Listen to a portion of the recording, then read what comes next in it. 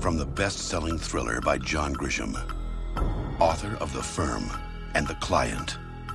From Alan J. Pakula, director of All the President's Men and Presumed Innocent. Julia Roberts, Denzel Washington. The Supreme Court of the United States, our ultimate symbol of law and order. But in a single night, two of its justices will be brutally assassinated. A thousand miles away in New Orleans, a lone law student has pieced together who did the killings and why, and created a document that has become known in the corridors of power as the Pelican Brief.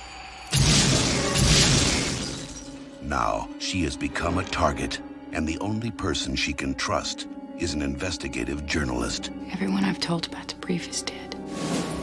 This thing reaches as deep and goes as high as we think it does, these men will do anything not to be exposed.